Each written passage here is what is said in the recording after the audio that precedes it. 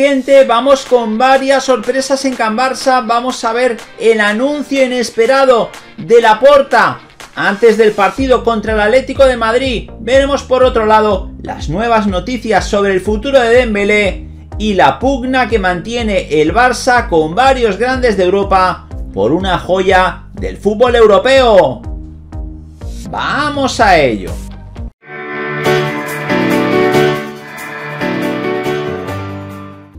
Hola de nuevo gente, ¿cómo estáis? Bienvenidos a un nuevo vídeo de Objetivo Gol. Vamos a analizar la última hora del Barcelona y vamos a hacerlo con varias noticias. Por tanto, te animamos a que te quedes hasta el final del vídeo y a que nos dejes un buen like.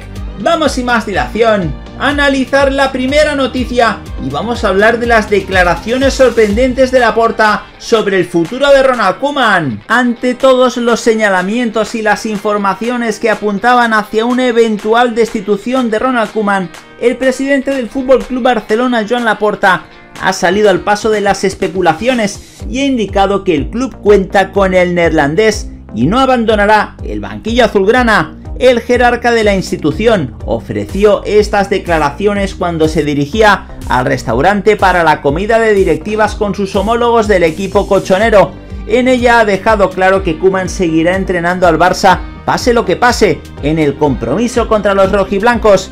Laporta ha advertido que el héroe de Wembley merece el apoyo del club en estos momentos, lo dijo así, tiene un margen de confianza con independencia del resultado de hoy. Merece un margen de confianza, sobre todo por ser barcelonista. Valoro mucho que asumiera ser entrenador del Barça en momentos de máxima dificultad deportiva e institucional. Asimismo, ha añadido que el neerlandés ha mostrado un mejor semblante tras las últimas conversaciones y ha manifestado sentirse optimista a la espera de la evolución de los jugadores en la enfermería. Lo dijo así, ha recuperado el ánimo Después de hablar con él veo que confía en este equipo, sobre todo a partir del momento en que se empiecen a recuperar los lesionados. También ha informado que no ha habido ninguna ruptura en las relaciones entre el presidente y el entrenador. Dijo lo siguiente al respecto, es una relación buena y sincera. Él es buena persona y creo que él piensa lo mismo de mí. Estamos intentando entre todos que esto dé una vuelta a mejor. Por tanto, giro inesperado en lo que se refiere al futuro de Kuman. Hace dos días hicimos mención en Objetivo Gol de la noticia de Sport en la que aseguraba que la puerta iba a destituir, pasara lo que pasara, en el partido contra el Atlético de Madrid a Ronald Koeman y finalmente, según la porta, no va a ser así, nos gustaría saber vuestra opinión al respecto y vamos a hablar ahora de la bronca que hubo en el vestuario del Barcelona tras el partido contra el Benfica. Lisboa empieza a ser una ciudad que trae malos recuerdos al aficionado del Fútbol Club Barcelona. En la capital portuguesa el conjunto culé ha sufrido en los últimos tiempos derrotas vergonzantes que ponen de manifiesto el nivel actual de la plantilla, lejos de aquel intratable Barça de Pep Guardiola o incluso de Luis Enrique. Ahora tal y como señala Sport, hubo una discusión en la media parte entre Ronald Koeman sentenciado en el banquillo barcelonista y uno de los pesos pesados del equipo. Discusión que muestra la tensión actual dentro del club y dentro del vestuario. Por tanto, así está la situación a día de hoy entre Kuman y la plantilla. Vamos a hablar ahora de Dembélé y es que ha dejado tranquilo a la porta y quiere seguir. El francés está ligado al Barça hasta 2022. El club se expone a ver marchar gratis el verano que viene al extremo izquierdo si no consigue renovarlo. La directiva trabaja a pleno pulmón. Ya se lo habría hecho saber a Dembélé. Ha hecho una propuesta al francés con un contrato por dos años, es decir, hasta 2024. Sin embargo, de momento no habrían recibido respuesta y eso es lo que da cierto temor a la directiva culé. Cree que la gente utilizará la estrategia de hacerles esperar por lo menos hasta enero. Así si algún pretendiente toca su puerta, podría usarlo para intentar sacar un contrato mejor. Pero la porta, afirma Mundo Deportivo, está tranquilo. El mandamás azulgrana es optimista y lo es porque ha tenido una conversación sincera con el propio Dembélé el presidente charló con el jugador para decirle que el Barça quería seguir contando con él más allá de 2022. le comentó que es una pieza clave para el equipo a corto y largo plazo. El extremo por su parte quedó encantado y le transmitió que quiere seguir. Habrá que ver qué ocurre con respecto a Dembélé. Aún queda tiempo y en el Camp Nou esperan dejar zanjado este asunto antes que cualquier equipo europeo pueda tentar ni siquiera al francés. Por tanto, esta es la voluntad a día de hoy de Dembélé.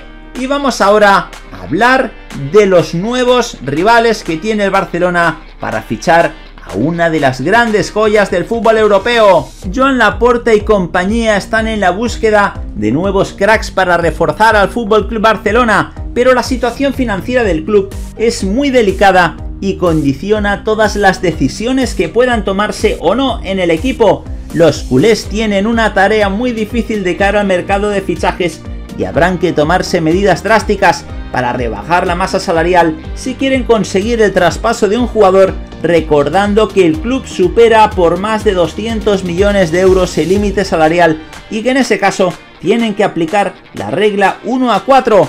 Con esta condición, para la inscripción de cualquier futbolista, el club debe liberar cuatro veces la cifra que va a invertir, por lo que si el jugador cuesta 40 millones, el Barça tiene que liberar por rebajas salariales o ventas con plusvalías 160 millones, una situación más que difícil que dificulta todos los intentos de los azulgrana de sumarse a la puja por cualquier jugador, sobre todo si este tiene más equipos interesados en su ficha.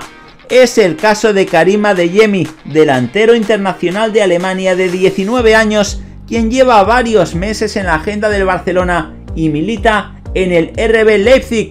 El diario Bild ha informado que ya son cuatro los equipos que se han sumado en la pelea por el jugador, que ha maravillado a toda Europa con sus grandes actuaciones. El Bayern de Múnich, Leipzig y Liverpool habían avisado antes pero el Wolfsburgo ha sido el último en sumarse a la puja. De acuerdo a la información del medio alemán, el Wolfsburgo se ha puesto en contacto con el club austriaco porque quiere tantear el terreno y adelantarse a los grandes en una ofensiva por el jugador germano.